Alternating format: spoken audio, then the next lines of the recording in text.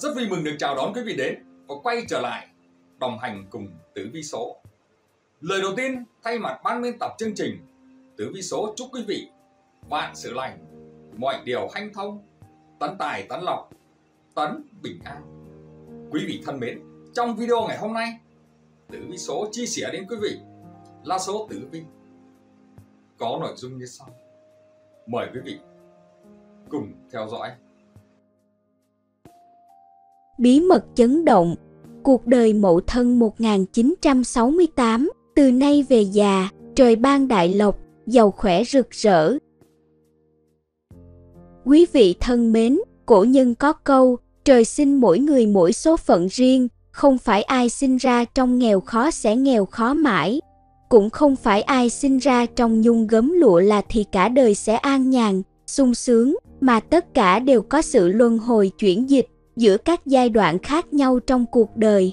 Người tuổi Mậu Thân, sinh năm 1968, cũng nằm trong vận trình như vậy. Tử vi học có nói rằng, số người tuổi này được định sẵn là tuổi trẻ lam lũ vất vả đủ đường, nhưng chỉ cần có ý chí nghị lực vượt khó, thì từ 57 tuổi, nhất định sẽ gặt hái được quả ngọt, nhận lộc vàng trời ban, tiền bạc kéo về làm đâu thắng đó, đường đời sống thanh thang, vậy vận trình cụ thể của người tuổi này sẽ diễn ra như thế nào?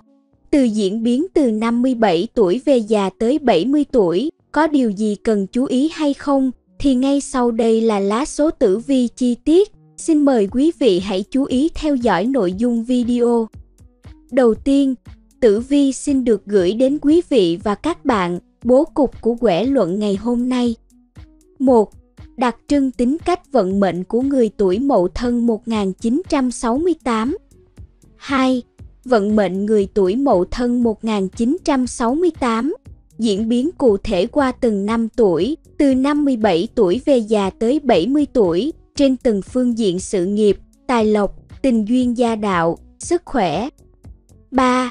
Tương sinh, tương hợp và nguyên lý phong thủy dành cho người tuổi Mậu Thân 1968. 1. Đặc trưng tính cách vận mệnh của người tuổi Mậu Thân 1968, thân là con khỉ, thuộc con giáp đứng thứ 9 trong 12 con giáp phương Đông. Theo quan sát dân gian, vì vốn là loài vật rất thông minh, nhanh nhẹn. Vì vậy, người mang tuổi này được cho là nổi bật với tài trí, sự khéo léo linh hoạt và giỏi giao tiếp, đặc biệt các mệnh chủ mậu thân 1968 mang mệnh đại trạch thổ là những người tính tình kiên định. Họ không bị dao động trước những lời đàm tiếu hay gục ngã trước những khó khăn, luôn luôn tìm cách giải quyết công việc một cách nhanh nhất. Tuổi mậu thân thường là những người sống rất tốt, nhưng không giỏi biểu hiện ra bên ngoài, là tuyếp người ham học hỏi và học rất nhanh. Những người tuổi mậu thân là những người rất thông minh, có tài ăn nói, ngôn ngữ, có tâm hồn bay bổng, suy nghĩ nhiều, nhìn nhận vấn đề một cách sâu sắc. Thế nên họ rất thích hợp với các công việc thoải mái, không bị gò bó bởi giờ giấc. Nếu xin được giờ tốt, thì số lại là người có chức, có quyền. Người sinh năm 1968 thường bị xung khắc với người thân trong gia đình. Vì vậy, nếu muốn làm ăn, buôn bán lớn, nên tránh kết hợp với người thân, không được nhiều người yêu mến, nhưng nếu ai hiểu họ thì người đó rất quý trọng và kính nể họ. Cuộc đời người mậu thân không quá giàu sang, nhưng cũng no đủ bậc trung, nên chú trọng làm việc thiện để tích đức lúc về già. Nữ giới tuổi mậu thân có cuộc đời sung sướng và có nhiều điều tốt đẹp, phần tiền vẫn có nhiều lao đao, thời kỳ hậu vẫn có lo buồn. Thời kỳ trung vẫn được hưởng nhiều sung sướng, phần gia đạo của nữ giới mậu thân được yên hòa, nữ giới tuổi mậu thân có đường công danh chỉ ở vào mức độ trung bình mà thôi. Từ năm 40 tuổi trở đi, sự nghiệp của bạn được vững chắc, phần tiền bạc có nhiều điều tốt đẹp và dư giả cho cuộc sống. Nam giới tuổi mậu thân có cuộc đời không được tốt đẹp vào thủ nhỏ, về thời kỳ trung vận thì được tốt đẹp và đầy đủ về tiền bạc. Cuộc sống vào thời kỳ hậu vận cũng được an nhàn đôi chút nhưng vẫn rất khổ tâm thời kỳ tiền vận cuộc sống lao đao, thời kỳ trung vận có kết quả về tài lộc, thời kỳ hậu vận an nhàn sung sướng. vận trình vận mệnh của tuổi Mậu Thân, sinh năm 1968, được dự báo qua 12 tháng sinh âm lịch. Tháng 1 âm lịch là người hoạt bát năng động, tinh thần phơi phới, sự nghiệp thăng tiến, có nhiều cơ hội xuất ngoại, khó tránh khỏi bệnh tật, ốm đau lạc vặt. Xem vận mệnh người tuổi thân theo tháng sinh âm lịch, sinh vào tháng Giêng. Người này sức khỏe tốt, sinh lực dồi dào, là người hào sản, phóng khoáng, cũng rất ngay thẳng, chính trực. Tuy ra ngoài xã hội có quý nhân nâng đỡ xong chẳng được nhờ lộc tổ tiên, cha mẹ, anh em trong nhà cũng không giúp đỡ được nhiều, tự lực cánh sinh là chính. Người tuổi thân sinh tháng này, nếu phát triển sự nghiệp ở phương xa thì sẽ thuận lợi hơn là khởi nghiệp tại quê nhà, mọi sự dễ dàng thành công hơn. Đường tài lộc của con giáp này không tồi, song cũng vẫn có điểm báo phá tài, nên thận trọng hơn để giảm thiểu thiệt hại xuống mức thấp nhất. Tháng 2 âm lịch, người tuổi thân sinh vào khoảng thời gian này, tính tình có phần cố chấp. Tuy được ơn trên ban phước, quý nhân độ mệnh, nhưng quan lộc không dài, sự nghiệp phát triển đến một ngưỡng nào đó dễ bị suy thoái. Tháng sinh này khiến cho bản mệnh tuy thông minh, đỉnh ngộ, có tài năng, có thực lực, cũng được gia đình hỗ trợ rất nhiều, nhưng quan lộc không bền, tại chức, tại vị không được lâu dài. Đường tài lộc thăng trầm bất định, khi thì tiền tài ào ào đổ về nhà, khi thì không có một xu dính túi. Điều này phần nhiều là do tuổi thân bị tiểu nhân quấy phá, tiểu nhân ở ngay bên cạnh mình, vậy nên mệnh chủ hãy nên thận trọng, cẩn tắc vô ấy nấy, chớ để kẻ xấu có cơ hội lợi dụng mà bán đứng mình. Đừng chỉ nhìn vào cái lợi trước mắt mà gạt bỏ hết những nguy cơ tiềm tàng phía sau đó. Tháng 3 âm lịch, người này tài trí hơn người, ra đời được nhiều bạn bè giúp đỡ, gia đình có của ăn của để nên cũng hỗ trợ được phần nào, cuộc sống hôn nhân hạnh phúc viên mãn, cuối đời vẫn được hưởng thái bình. Cuộc đời người này khá suôn sẻ, thuận lợi, gặp dữ cũng hóa lành, tiền đồ rộng mở, có thể theo nghiệp kinh doanh. Họ may mắn có cuộc đời êm ả, không phải trải qua nhiều sóng gió, khó khăn, mà được hưởng hạnh phúc tiêu diêu tự tại. Con giáp này được nhiều người yêu mến, cũng luôn có quý nhân bên mình, có thể hợp tác cùng bạn bè thân thiết để làm việc. Sự nghiệp sẽ đạt được những bước tiến mới, thành công vang dội, hôn nhân hạnh phúc, vợ chồng tương kính như tân bên nhau bạc đầu dài lão. Tháng tư âm lịch là người thông minh tài trí. Họ có thể cả đời vinh hoa, được người xa gần biết đến. Tuy nhiên, làm việc để cảm xúc lớn ác lý trí, nên hung cát đang xen. Cũng may có người giúp đỡ nên vận trình không quá xa xúc, sức khỏe tốt, ít khi ốm đau. Có điều, người đầy phúc lộc cha ông mỏng, không được hưởng nhiều sự trợ giúp của gia đình, có tài có chí, luôn chăm chỉ làm việc nhưng chưa chắc đã thắng được mệnh trời, khó làm nghề nghiệp lớn, tới tuổi trung niên, họ mới dần đạt được những điều mình ước nguyện cơm ăn áo mặc đủ đầy, chẳng thiếu thứ gì. Tháng năm âm lịch, mệnh chủ chịu nhiều vất vả trong cuộc đời cũng trải qua nhiều biến cố lớn. Họ là người có nghị lực, có ý chí phấn đấu, cũng sống biết điều, kính trên nhường dưới, biết tiếng, biết lùi, song đường tài lộc có phần ảm đạm, đôi khi cũng vướng phải chuyển khẩu thiệt thị phi. Người này tự lực, tự cường, không dựa dẫm vào ai, mà tự nuôi sống bản thân bằng chính sức mình. Ông trời chẳng phụ lòng người. Sự nghiệp của người tuổi thân sinh tháng năm âm cũng được nhiều người tương trợ. Từ tuổi trung niên, vận trình của bản mệnh dần tăng tiến, hậu vận vô cùng tốt đẹp, tài lộc dồi dào, hạnh phúc viên mãn. Tháng 6 âm lịch, tính tình thoải mái vui vẻ, không hay lo nghĩ nhiều, mà suy nghĩ lạc quan tích cực. Cuộc đời các hung hỏa phúc đang xen, hôn nhân hạnh phúc mỹ mãn. Con cháu hiển vinh phú quý, người này không quá tham vọng, cũng không đặt ra lý tưởng gì cao xa, biết sống đủ với mình, nên an nhàn tận hưởng cuộc sống ổn định. Họ không phải đối mặt với nhiều sóng gió trong đời mình. Cuộc sống gia đình hạnh phúc, con cháu thảo hiền, tuổi già hưởng phúc không có gì phải tiếc nuối. Tháng 7 âm lịch, mùa thu hoạch, nên cuộc sống tự do, tự tại, không phải lo lắng gì nhiều. Sinh vào tháng này, người tuổi thân biết tận hưởng cuộc sống, được gia đình hỗ trợ, giúp đỡ rất nhiều. Tuy sự nghiệp không có nhiều thành tựu nổi bật nhưng tài lộc không thiếu, cơm ăn áo mặc lúc nào cũng có. Tháng 8 âm lịch, sự nghiệp hanh thông, có thể làm nên đại nghiệp, tiền đồ rộng mở vô cùng, phúc lộc vô chừng, không phú quý thì hiển vinh. Người tuổi thân sinh tháng 8 âm, trong năm trời sinh có phúc tướng.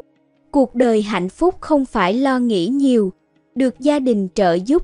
Thiên tư dĩnh ngộ, bản mệnh có tài có chí, phẩm chất cao sang, là người thẳng thắn và khiêm nhường. Sự nghiệp của người tuổi thân sinh tháng 8 mét được quý nhân phò trợ, bạn bè nâng đỡ nên dễ thành công, có thể đạt được những vị trí cao, danh lợi song toàn, cuộc sống gia đình viên mãn, được bạn đời thấu hiểu và thông cảm, hỗ trợ nhiều cho phát triển sự nghiệp. Con cháu hiếu thuận, chăm ngoan. Thăng chính âm lịch, mệnh chủ là người có tài, có tinh thần tự lập, lòng tự tôn cao, muốn tự lực cánh sinh chứ không muốn dựa dẫm vào ai. Tuy nhiên, sự nghiệp của người này gặp nhiều khó khăn trắc trở, dù đã gần đến thành công nhưng vẫn có thể thất bại bất cứ lúc nào. Chuyện thị phi đeo bám, may mắn kém phần, các hung song hành, có lúc thuận lợi, có lúc lại xui xẻo, mưu sự tại nhân, mà thành sự tại thiên, cuộc đời bình phàm không có gì đặc biệt. Tuổi thân sinh tháng 9 âm, vận mệnh thăng trầm bất định, khó có thể đoán định được. Tuy có tài năng thực sự, tài trí hơn người, cũng có nhiều tài lẻ, tinh thần làm việc nhiệt tình, luôn cầu tiến, ham học hỏi, lại có ý chí phấn đấu. Song vì cuộc đời không được nhiều quý nhân trợ giúp, nên sự nghiệp hay gặp phải trở ngại ngán đường. Đôi khi họ thất bại là vì có chí nhưng không có gan thực hiện, chỉ chỉnh chu làm những việc mình biết mà không dám mạo hiểm. Có điều họ là những người có thiên hướng nghệ thuật, nếu phát triển theo hướng này và đào sâu nghiên cứu, thì có khả năng giành được nhiều thành tựu lớn đáng ngưỡng mộ. Tháng 10 âm lịch, tuổi thân sinh tháng 10 âm, thông minh đỉnh ngộ, tài hoa hơn người, tinh thông kim cổ. Họ là người ham học và muốn đào sâu tìm hiểu mọi thứ, tuy nhiên, không dám mạo hiểm những gì mình đang có. Chính vì thế mà bản mệnh chỉ dám làm những điều quen thuộc, sống an phận thủ thường, không dám khám phá những chân trời mới, thiếu tinh thần cầu tiến, thiếu quyết tâm, chịu khó chịu khổ để lập nghiệp. Họ thích cuộc sống an nhàn, không sóng gió, không khó khăn, trở ngại. Tuy nhiên, tiềm ẩn dưới con người này vẫn là tài năng vượt trội. Nếu thuận thế theo kịp sự phát triển của xã hội, dám làm những điều mới lạ, dám chấp nhận thất bại, thì nhất định có thể làm nên chuyện trở thành người có địa vị trong xã hội và được nhiều người ngưỡng vọng. Tháng 11 âm lịch, cuộc đời phải trải qua nhiều sóng gió. Bản thân họ cũng là người hay ưu phiền, tinh thần bất ổn, nhìn cuộc sống tiêu cực, không có ý chí phấn đấu, càng không có tham vọng gì trong cuộc sống, tính khí có phần thất thường hay nổi nóng, nhưng tính thẳng thắn nên dễ đắc tội với người, lại càng hay gây chuyện tự tạo kẻ thù, là người có tài năng, họ không sợ ác bá, cường quyền hay giúp đỡ người yếu hơn mình. Tuy nhiên, người này phúc mỏng, gia đình không đủ tiềm lực trợ giúp mà mọi sự phải dựa vào chính sức mình. Trung vận bắt đầu có may mắn, sự nghiệp khởi sắc dần, song cần chú ý, điểm báo cho thấy khoảng thời gian này bản mệnh có họa sát thân, làm gì cũng phải thận trọng, cuộc sống hôn nhân cũng phải trải qua nhiều thăng trầm, song cuối cùng vẫn được viên mãn, sau cơn mưa trời lại sáng, hậu vận tốt đẹp, an nhàn hưởng phúc. Tháng 12 âm lịch, khi trời lạnh giá khiến cho con người mất cảm giác an toàn hay thay đổi dao động. Họ sống bản năng, không có nhiều mưu mô, cũng chẳng có tham vọng gì. Nhưng may mắn, thánh nhân đãi kẻ khù khờ, vẫn có cuộc sống bình an khi về già, con giáp này vốn dĩ cũng có phúc, có lộc. Khi mà gia đình hòa mục, cha mẹ thương yêu, thời còn nhỏ, họ học hành chăm chỉ cũng giành được không ít thành tựu. Là con ngoan, trò giỏi, tâm địa thiện lương chẳng suy nghĩ xấu xa độc ác với ai. Cuộc sống của người này an nhàn, tuổi già hưởng phúc, chẳng phải lo lắng suy nghĩ gì nhiều. Quý vị đang theo dõi video với nội dung Bí mật chấn động Cuộc đời mậu thân 1968 Từ nay về già, trời ban đại lộc, giàu khỏe rực rỡ. Tiếp theo là những ngày sinh đại cát, vận mệnh của người tuổi mậu thân, sinh năm 1968, người tuổi thân sinh ngày mùng một âm, mệnh cát tường, nam có tài năng thiên phú, nữ hiền lành, xinh đẹp. Cả hai đều có năng lực làm việc, có thể tự gây dựng sự nghiệp và phẩm chất đạo đức tốt. Người tuổi thân sinh mùng năm là người có thiên tính thông minh, bất luận là khả năng hay dũng khí đều mạnh mẽ hơn người, giỏi tùy cơ ứng biến, phản ứng nhanh nhạy, linh hoạt với thời cuộc, có thể vượt qua sóng gió. Người tuổi thân sinh ngày mùng 9 có đầu óc linh hoạt, ý chí cầu tiến và tham vọng mạnh, làm việc tới nơi tới chốn, thích hợp với công việc kinh doanh, người này tính cách can trường, không lùi bước trước khó khăn, không ngại tranh đấu với người khác. Người tuổi thân sinh mùng 10, nam nữ đều cát lợi, nam chủ khôi ngô nhanh nhẹn, nữ chủ thông minh xinh đẹp, tính cách trầm ổn, phóng khoáng, là người chính trực, thẳng thắn xử sự chân thành. Người tuổi thân sinh ngày 14, mệnh mang đại các phúc ấm tổ tiên, được sự giúp đỡ đắc lực của cha mẹ và quý nhân, một đời phú quý không cần lo lắng nhiều.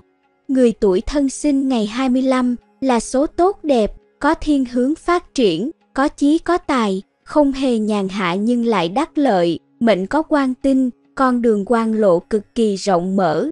Người tuổi thân sinh ngày 27, nam mệnh thông minh, giỏi tính toán, đầu óc linh hoạt, có khả năng kinh doanh, có khả năng làm giàu, nhất là từ trung niên, nữ mệnh thanh tú, tươi đẹp, ngoại hình có khí chất tao nhã. Người tuổi thân sinh ngày 28 là người mang mệnh có quan tinh chiếu sáng, trời sinh giỏi lãnh đạo, công thành danh toại, có chức có quyền. Người này luôn có chí hướng tiên phong vượt lên trên người khác. 2. Vận mệnh người tuổi mậu thân, sinh năm 1968, diễn biến cụ thể qua từng năm tuổi, từ năm 57 tuổi tới năm 70 tuổi, mệnh chủ tuổi mậu thân 1968. Bước sang năm 2024, tức là đã bước sang tuổi 57, người tuổi mậu thân cũng không gặp phải vấn đề gì quá lớn lao trong năm. Mọi việc đã vào guồng và tiến triển đều đặn, giúp bản mệnh tránh được nhiều mối lo, thậm chí có nhiều thời gian để quan tâm hơn đến sức khỏe và những người thân yêu của mình. Phương diện sự nghiệp nhìn chung bình ổn, bạn là người có kinh nghiệm phong phú nên có thể đưa ra được nhiều đóng góp quý giá cho tập thể, hướng dẫn những người trẻ tuổi xung quanh mình. Năm nay, bản mệnh có cơ hội khẳng định vị thế của bản thân và nhận được sự tôn trọng, kính phục từ bạn bè, đồng nghiệp. Tình hình tài chính có dấu hiệu tăng tiến nhờ những khoản thăng chức, tăng lương hoặc nhờ những quyết sách đúng đắn trong lĩnh vực đầu tư. Bạn không cần phải quá bôn ba, vất vả mà vẫn thu được tiền ào ào về túi, mối quan hệ vợ chồng, còn cái nhìn chung yên bình, khi mọi người biết hạ cái tôi xuống và đặt mình vào vị trí của người khác. Tuy nhiên, hãy cảnh giác trước nguy cơ kẻ thứ ba xuất hiện bằng cách giữ khoảng cách phù hợp với tất cả mọi người.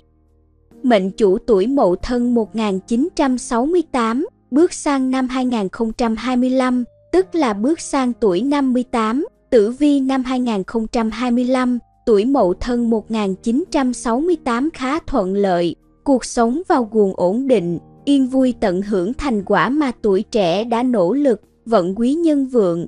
Công việc làm ăn suôn sẻ, gặp khó sẽ được trợ giúp kịp thời. Mọi việc đã vào guồng và tiến triển đều đặn, giúp bản mệnh tránh được nhiều mối lo, thậm chí có nhiều thời gian để quan tâm hơn đến sức khỏe và những người thân yêu của mình. Phương diện sự nghiệp nhìn chung bình ổn, bạn là người có kinh nghiệm phong phú, nên có thể đưa ra được nhiều đóng góp quý giá cho tập thể, hướng dẫn những người trẻ tuổi xung quanh mình. Năm 2025, bản mệnh có cơ hội khẳng định vị thế của bản thân và nhận được sự tôn trọng, kính phục từ bạn bè, đồng nghiệp. Tình hình tài chính có dấu hiệu tăng tiến nhờ những khoản thăng chức, tăng lương, hoặc nhờ những quyết sách đúng đắn trong lĩnh vực đầu tư, đường số không cần phải quá bôn ba vất vả mà vẫn thu được tiền về, tình trạng sức khỏe được cải thiện đáng kể. Ra đạo cũng thêm phần hài hòa, có hỷ sự trong nhà, như cưới hỏi hay thêm con cháu. Có điều, đi đứng cẩn thận, đề phòng tai nạn bất ngờ, nhất là tai nạn về đường sông nước. Ngoài ra chú ý vấn đề ăn uống, tránh nguy cơ bị ngộ độc. Mối quan hệ vợ chồng, con cái nhìn chung yên bình khi mọi người biết hạ cái tôi xuống và đặt mình vào vị trí của người khác. Bước vào năm 2026, mệnh chủ mậu thân đã 59 tuổi, có vận sự nghiệp hanh thông, thuận lợi. Tuy nhiên, sẽ có hai trường hợp xảy ra. Một, nếu bạn đã nghỉ hưu thì sẽ có cơ hội đón nhận công việc mới. Hai, nếu bạn còn đang làm việc thì nên tập trung vào nghề chính của mình, bởi khi thương quan vượng ấn, nó chỉ cho người này lựa chọn vào một ngành nghề. Nếu ngành chính thành công thì nghề phụ thất bại, nếu nghề phụ vượng thì nghề chính lụi. Nó nhắc nhở người này không nên quá tham lam và phải biết bằng lòng viết. Hiện tại, mệnh chủ có nhiều cơ hội kiếm tiền mở ra trước mắt. Tuy vậy, vận trình của bạn là hung cát cùng tồn tại, nên có thể thất bại của người thân, người lớn tuổi trong nhà sẽ khiến bạn phải đứng ra gánh vác. Điều này báo hiệu một năm hao tiền tốn của, nhưng tiền thu về vẫn có. Trong năm, bạn khó mà tránh khỏi họa khẩu thiệt, nghĩa là họa từ miệng. Người này khẩu xa tâm Phật, nên dễ bị người khác hiểu nhầm, tự mình làm xấu đi hình ảnh của mình với người thân, bạn bè. Người này nên giữ khẩu đức, không nên buông lời miệt thị, dìm pha nói xấu, gây thị phi tổn thương người khác. Ngoài ra, cũng không nên quá khắc khe với người lớn tuổi trong nhà. Mâu thuẫn với người già chỉ khiến bạn thêm mệt mỏi, đã bước sang giai đoạn tuổi cần phải chú ý nhiều hơn tới sức khỏe của mình. Giai đoạn từ 60 đến 65 tuổi được đánh giá là khá bình lặng, ít sóng to, gió lớn. Dường như bạn chưa tìm ra được hướng đi mới để bứt phá, nên chỉ có thể tiếp tục những công việc đã quá quen thuộc từ trước tới nay. Về công việc, đường số cần chú ý tập trung làm cho nhiệm vụ của mình, chớ nên lơ là ở cả những công việc mình đã quen tay. Trong quá trình trao đổi hợp tác với đồng nghiệp, bạn cũng nên hạ cái tôi của mình xuống để có thể lắng nghe ý kiến của mọi người. Còn nếu khăng khăng làm theo ý mình, bạn dễ vướng phải các lỗi sai, về tiền bạc chưa có gì thay đổi đáng kể. Bạn chủ yếu duy trì được các mối nguồn thu của mình, nhưng nếu không cố gắng thì có thể trở nên thụt lùi nếu so sánh với các đối thủ. Hơn nữa, giai đoạn này có thể xảy ra sự cố bất ngờ. Cần dùng đến tiền, khuyên con giáp này nên tiêu xài đúng mực, chú ý để dành một khoản tiết kiệm phòng khi khẩn cấp, chăm lo cho sức khỏe, vợ chồng nên gắn kết yêu thương, hạn chế xích mích không đáng có. Giai đoạn từ năm 66 đến 70 tuổi, mệnh chủ mậu thân giờ là lúc an hưởng tuổi già. Nếu làm kinh doanh, thì phương diện công việc khó khăn, áp lực tinh thần lớn hơn trước. Mệnh chủ có thể vướng vào rắc rối liên quan đến giấy tờ, thủ tục do hung tinh tác động, đồng thời có điềm tiểu nhân đeo bám, thị phi bủa vây, thương trường như chiến trường, cạnh tranh khốc liệt, cơ hội việc làm vốn đã ít, nay lại càng khó khăn hơn. Sau những năm tháng nỗ lực phấn đấu, thì nay là lúc phương diện tài lộc dồi dào.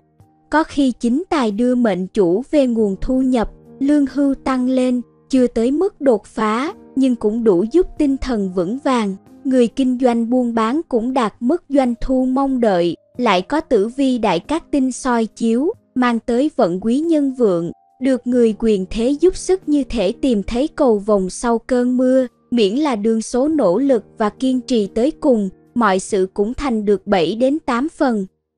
3. Tương sinh, tương hợp và nguyên lý phong thủy dành cho người tuổi Mậu Thân, sinh năm 1968 sinh năm 1968, mậu thân hợp con số nào?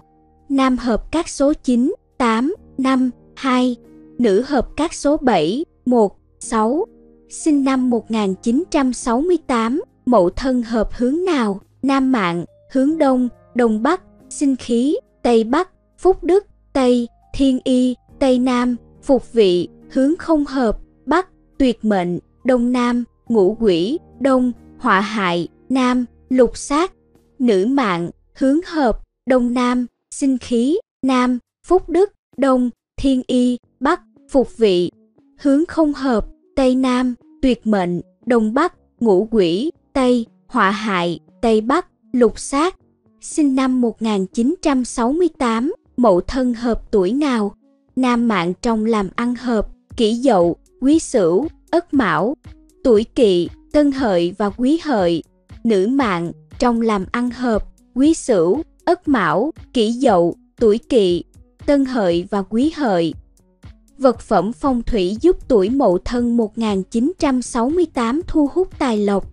Các vật phẩm phong thủy không chỉ là những món đồ trang trí mà còn mang trong mình những ý nghĩa tinh thần sâu sắc. Chúng được lựa chọn dựa trên nguyên tắc của ngũ hành và sự tương tác của năng lượng trong tự nhiên để tạo ra sự cân bằng và hỗ trợ cho cuộc sống của chúng ta. Mặt khác, vật phẩm phong thủy là những món đồ tinh thần mang lại sự hỗ trợ và động viên trong mọi khía cạnh của cuộc sống, là biểu tượng của niềm tin, hy vọng luôn đồng hành cùng chúng ta trên hành trình phát triển và thành công. Dưới đây là gợi ý các vật phẩm phong thủy mà bạn có thể cân nhắc để mang về bình an và giải trừ vận hạn cho tuổi Mậu Thân 1968. Gậy như ý, gậy như ý với vóc dáng thon gọn và chắc chắn, tượng trưng cho sự định hướng và quyết tâm trong việc đạt được mục tiêu. Với người tuổi Mậu Thân, gậy như ý có thể tạo ra sự cân bằng và hỗ trợ trong sự nghiệp và cuộc sống. Hình ảnh gậy thể hiện quyền lực và sự thống trị, giúp những người này có khả năng lãnh đạo và định hướng trong công việc và cuộc sống. Ngoài ra, gậy như ý còn mang đến ý nghĩa về may mắn và thịnh vượng, với ý nghĩa là vật phẩm phong thủy tốt nhất cho các nhà quản lý và lãnh đạo. Quyền trượng không chỉ mang lại sự uy tín mà còn tạo ra một môi trường tương thích cho sự phát triển và thăng tiến. Khi bạn đặt quyền trượng trong không gian của mình, bạn đang tạo ra một dòng năng lượng tích cực giúp bạn tận dụng tối đa khả năng lãnh đạo và quản lý của mình. Phật bản mệnh, Đại Nhật Như Lai là hình ảnh của Đức Phật, thể hiện sự thanh tịnh và sự giác ngộ cao quý với tuổi mậu thân. Việc có tượng Phật bản mệnh trong nhà làm tăng cường tinh thần yên bình và lạc quan. Đức Phật là biểu tượng của lòng từ bi, giúp người này luôn duy trì tính thiện lành và lòng nhân ái đối với mọi người xung quanh. Đại Nhật Như Lai thể hiện sự khai sáng và trí tuệ, giúp người tuổi mậu thân truyền tải tinh thần tĩnh lặng, tập trung tinh thần và thúc đẩy sự phát triển tư duy. Cây tài lộc Cây tài lộc thể hiện sự phát triển và thịnh vượng, biểu tượng cho sự thăng tiến và thành công trong mọi khía cạnh. Với tuổi mậu thân, cây tài lộc có thể thu lại những cơ hội mới, thuận lợi và phát triển trong sự nghiệp và tài chính. Hình ảnh cây xanh mọc mạnh mẽ sức sống thể hiện khả năng phát triển vượt bậc và tạo nên môi trường thịnh vượng. Cây tài lộc cũng có khả năng hút tài lộc và may mắn vào nhà hay nơi làm việc của người tuổi mậu thân. Hình ảnh cây xanh và quả trái là biểu tượng của sự sinh khí đầy đủ và thịnh vượng, giúp tạo ra một môi trường tích cực và giàu có. Màu sắc may mắn Đối với tuổi Mậu Thân 1968, theo ngũ hành phong thủy tương sinh, tương khắc, thì người sinh năm 1968 thuộc mệnh thổ, nên có màu bản mệnh là vàng sẫm, nâu đất là hành thổ và hỏa sinh thổ, nên màu tương sinh là màu đỏ, hồng, cam, tím. Màu kiên kỵ của hành thổ là hành mộc với các màu xanh nõn chuối, xanh lá cây. Quý vị thân mến, con người khi tồn tại trên cuộc đời cần khẳng định bản thân, tìm ra mục tiêu và giá trị cuộc sống cho chính mình. Trong vài chục năm nhân sinh ngắn ngủi, ai ai cũng nỗ lực để tìm ra thước đo mà mình mong muốn, từ đó phấn đấu để hoàn thiện bản thân theo chiều hướng tốt đẹp hơn. Người tìm ra mục đích đúng thì hướng đi sẽ đúng. Người xác định được mục đích chưa chính xác sẽ mắc sai lầm trên đường đời. Có người coi nhan sắc là thước đo nên ra sức làm đẹp, ra sức phẫu thuật thẩm mỹ để mình rạng rỡ hơn, hoàn hảo hơn. theo đuổi cái đẹp không xấu, nhưng cái đẹp chân chính là cái đẹp phù hợp với thời gian. Con người càng già đi thì dung nhan cũng theo đó mà thay đổi, không một ai có thể mãi mãi được ở tuổi 20, nên thước đo này chỉ là nhất thời, phù phiếm. Có người tin tưởng rằng tiền tài là giá trị quan trọng hữu hình nhất, song tiền là công cụ, nhiều tiền sẽ làm được nhiều việc, nhưng có rất nhiều thứ thì không mua được bằng tiền. Ví dụ như tình bạn chân thành, tình yêu sâu sắc, tinh thần ấm áp hay trí tuệ, sự lương thiện đều không thể trả giá được bằng tiền. Con người trên thế giới này sống với nhau, không sống với tiền, có người thì lại hướng tới địa vị, danh vọng và người thì càng ở vị trí cao thì càng có giá trị, sai lầm. Với người con thì người cha, người mẹ có giá trị hơn là chủ một công ty lớn, với người đau khổ thì người có thể chia sẻ, an ủi, lại có giá trị hơn một lãnh đạo cao cấp, bạn giỏi giang, thành công chưa chắc đã là người có giá trị, vậy thước đo chân chính trên đời này là gì? Lời Phật dạy về giá trị con người nhấn mạnh tầm quan trọng của đức hạnh, phẩm chất đạo đức cao đẹp, nhà sang phải tàn, tiền tài lúc có lúc không, địa vị không theo tới suốt đời, chỉ có phẩm hạnh là thuộc về mình, được bồi đáp án nâng cao hàng ngày. Dù già hay trẻ, giàu hay nghèo, quyền cao hay thường dân đều không ảnh hưởng, lời Phật dạy, người có đức hạnh thì nhan sắc không tầm thường. Bởi tâm sinh tướng, tướng họ thể hiện thái độ sống, khí chất toát ra từ nội tâm ra bên ngoài, người còn đức hạnh thì tiền tài không thiếu, bởi lương tri tạo ra vật chất, cảm thấy đủ, tức là đủ, tiêu đồng tiền chân chính, không phải lo sợ mất ăn, mất ngủ. Người có đức hạnh ắt có chức vị, ít nhất là chức vị trong lòng những người xung quanh được kính trọng và yêu mến, con người gắn kết với nhau từ lương tâm, từ những thứ tình đạt lý, từ tình cảm. Đó là mối dây bền vững nhất, chắc chắn nhất, tuy mỏng nhưng lại vô cùng dẻo dai. Giá trị của một người có sẵn từ khi sinh ra. Bởi nhân chi sơ, tính bản thiện, lòng thiện chính là giá trị cao nhất, nguyên bản nhất, qua ngày tháng, từ lòng thiện, bồi đắp thêm các đức hạnh tốt đẹp khác để hoàn thiện và có chí, có dũng, có tiếng, có nghĩa, có lẽ và chung quy lại Phật dạy về đức hạnh, chính là dạy về cách trưởng thành đúng hướng. Sự thông thái là món quà lớn nhất mà tự nhiên ban tặng cho loài người, mà rất nhiều người đã không biết nhận lấy nó. Muốn có được sự thông thái phải chịu khó học tập, càng học hỏi nhiều, càng tích lũy được nhiều kiến thức, con người càng hiểu biết, mở mang, nhận ra đâu là đúng và đâu là sai. Người có đức hạnh sẽ có trí tuệ cao hơn một bậc so với người vô minh. Người đau khổ nhất là người thiếu đức hạnh.